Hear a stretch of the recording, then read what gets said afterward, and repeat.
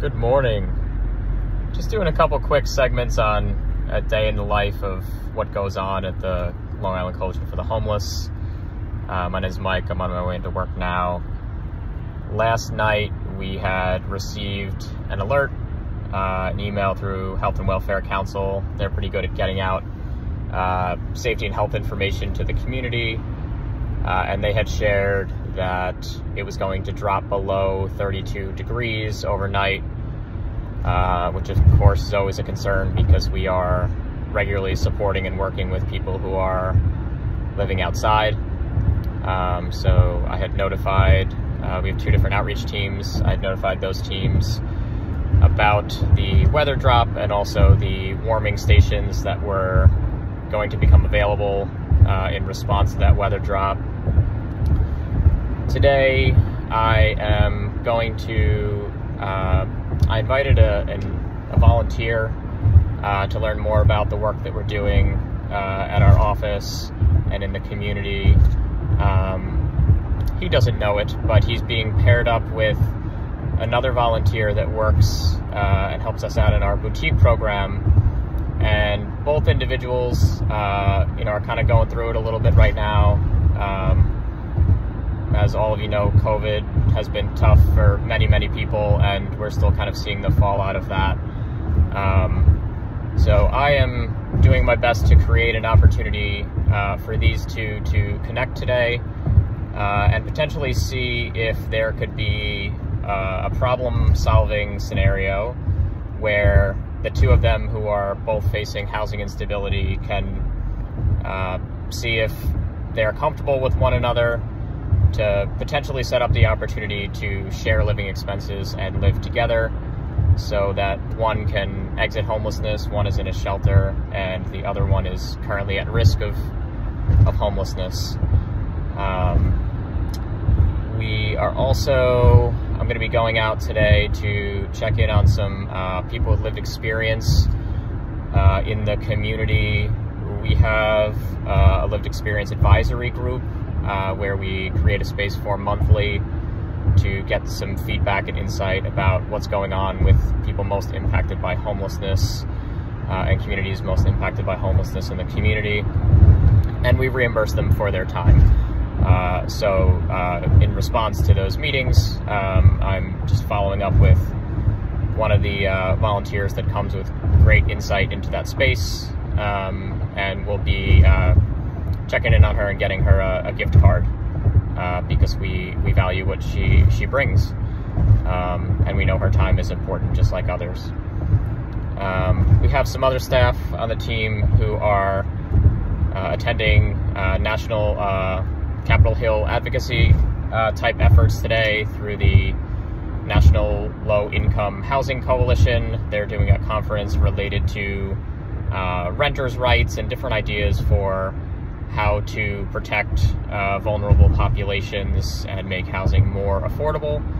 Uh, so this is a, federal platform, um, so we'll have some some local uh, perspective there shared from what's happening on Long Island that can hopefully uh, start to prompt some uh, national level decision makers to think differently about programs, funding, and, and uh, different housing solutions.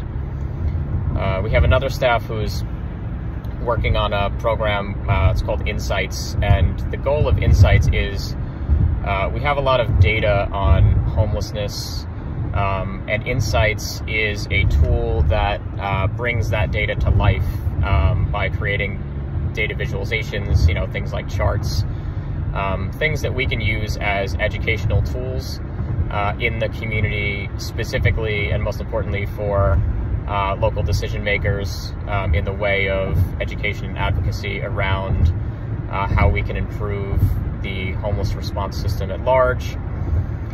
Um, just really excited as I am every day, kind of rushing into the office here. Um, we have so many things going on from you know outreach teams going out into the into the community to meet people where they're at. We got uh, case managers who are traveling to shelters all across both counties uh, and meeting people where they're at there, uh, all working on housing plans that um, are really created by the individuals um, in a person-centered way, and we're just kind of alongside them uh, in a supportive way to make sure they're aware of all resources and that we can hopefully uh, uh, help them with their housing goals as quick as possible. Um, we have people, you know, reviewing data. We have our distribution center uh, on site. We have staff who are coordinating housing referrals. Um, just so many great things um, going on that I'm always proud to be a part of. Um, our team continues to to really uh, grow, um, which is unfortunate in some ways because it means the need is growing. But I I trust our team and I, I trust the the process that we have, but also like the philosophy around the work that we do, why we do it, um, and making sure that we're doing it in a way that actually meets people's needs. Because um, what comes up a lot, um, specifically in, in nonprofits, human services, and, and charity work, um, is the risk of you know something called toxic charity, where you know you you begin to question who's who's actually benefiting, um, and if that is um, not the people who are actually in need of the resources that are being supported by programs, if they're not benefiting most, um, then that probably means that the programs are designed by people who are um, not in tune to or not actively listening to what people in the community are, are actually facing um, and what they need and in the in the ways that they need it. Um, so you know we really try and continue to do a great job with that almost at the office now. Our office is located in Amityville. Um, kind of just a quick story, which is kind of cool about that. When I started with the coalition, we had just moved into this building. It was a former uh, army base, and uh, we moved in, and um, we were uh, kind of gifted uh, the building um, to be used for continual work to uh, support uh, local veterans and people experiencing homelessness in the community. Um, and we've been there ever since. Um, we have some offices that house all of our different teams there, and there's also some other nonprofits that are on site. And right behind uh, our office building, um, there are 60 units of. Really, the units are, are quite stunning. Um, they're they're very nice units.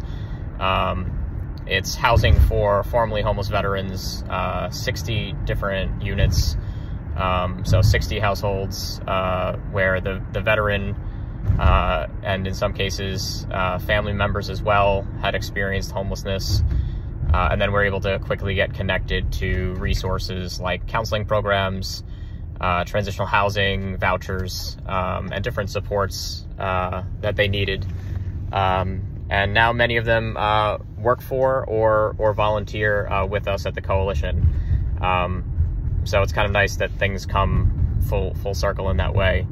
Um, and in many ways, it's people like that who are really the leaders um, within the homeless response space and trying to figure out the the solutions to homelessness because we know that those closest to understanding um, the challenges or the problems associated with um, what people are going through often will have the best knowledge and uh, insight in terms of uh, what the best solutions are or how we do better.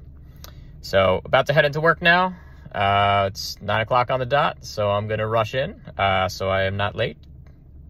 And uh, I hope everyone has a great day. And we're going to keep doing what we're doing over here and we hope to share what we're doing with more people and and hopefully kind of grow the community commitment to understanding what's happening with homelessness here and then seeking to minimize um, the, the the amount of people that have to experience homelessness, um, experience associated traumas, and uh, get them back to to to thriving um, and being a part of our community in the way that uh, they can be, and, and of course they want to be. Uh, so, so long for now. More to come.